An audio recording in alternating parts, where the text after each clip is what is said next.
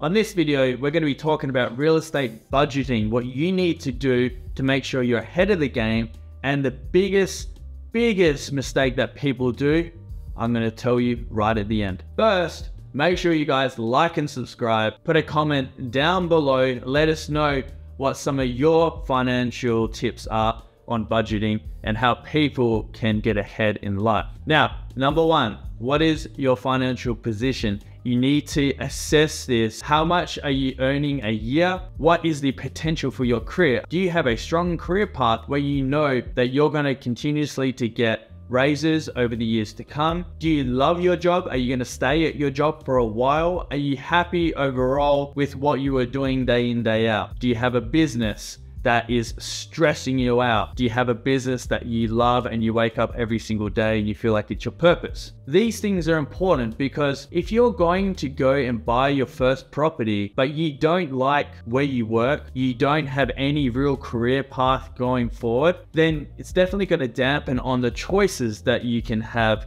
not just now, but for the future. So understanding those things are very, very important. So to assess your financial situation, you need to do a couple of things. One, look at your salary, then take a look at the expenses that you have and then look at what the type of lifestyle that you want. Now, if you understand how equity works, finding the right property in the right location can offer you some heightened results, even if you don't have that career path available, that is going to give you a lot of salary growth over the years. Because if you find a good property in a right location, that price appreciation could actually end up in the six figures as the years come on, which then allows you to buy more property with that equity. Next thing we need to do is subtract our expenses from our monthly salary, because then we're going to get a real idea on exactly what can we afford every single month. Now, most of the world goes into the banks and they go and get a mortgage. And based on that mortgage, that is going to be their trajectory for real estate. So, understanding what you can actually afford is important, and then what your actual expectations are going to be. Because the last thing you want to do is have miscalculated expectations. It's going to make you sad, stressed, maybe unhappy, all of the above, because people get into these properties and they, they get told that they have one opportunity, one option. And the real case scenario is that banks are just trying to get you into as many mortgages as possible so that they can make all the money. And if you understand how mortgages work, your mortgage is actually basically money out of thin air. So if you understand how this works, you need to understand that your expectations are the most valuable thing in buying your first property. One of the other big things when you're getting a mortgage for your first property is how much can you put down for the down payment. This means how long are you going to save money for to be able to put down a 20% payment, a 10% payment, a 40% payment? It depends on what the deal is. Do you already have savings in your bank? Or is this now the first time you're seeing this video and you've got to figure out how many years you're going to save. It all comes down to what can you afford?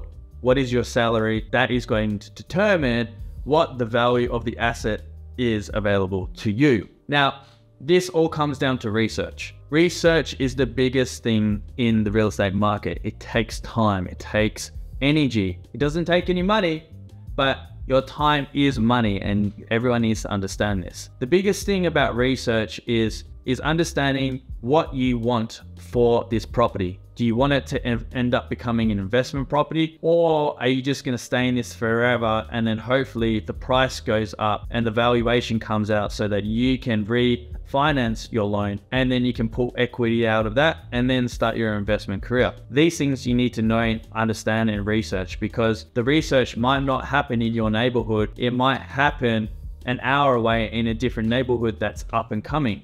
Are you prepared to buy your first property an hour away where you've been growing up or two hours away? Or are you prepared to move to another city, another state even? These are the things that you need to research based on what's important to you, what's the lifestyle that you want, but then also what's going to happen in 20, 30 years and what do you want to happen in your life in 20 and 30 years.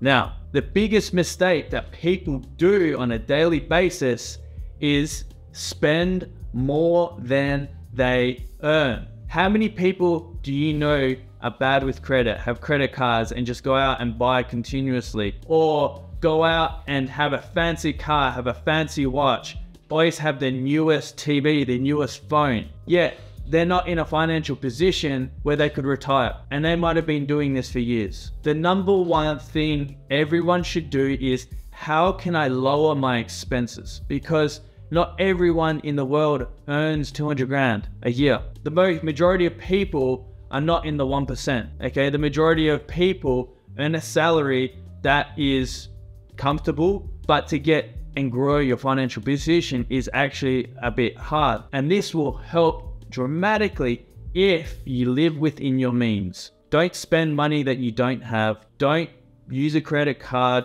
just to buy stuff that you wish you had. Live beneath your means so that you can grow your financial position because in your 20s, no one really gives a shit. Okay. In your 30s, no one gives a shit at all. Okay. What I'm trying to help you understand is live beneath your means, save, save, and then learn how to invest so that in your 40s, you're going to have such a comfortable position. Your kids, if you have them, might either be 20 years old, they might be 10 years old, they might be five years old. But at least you're now in a better position so that you have bought your property at the start of your career and 10, 20, 30 years later, you have learnt the craft of how the real estate game works. You are now living very comfortably and you're able to teach your kids how money works so that they can have a brighter future as well and use the real estate game and the real estate industry to their advantage because you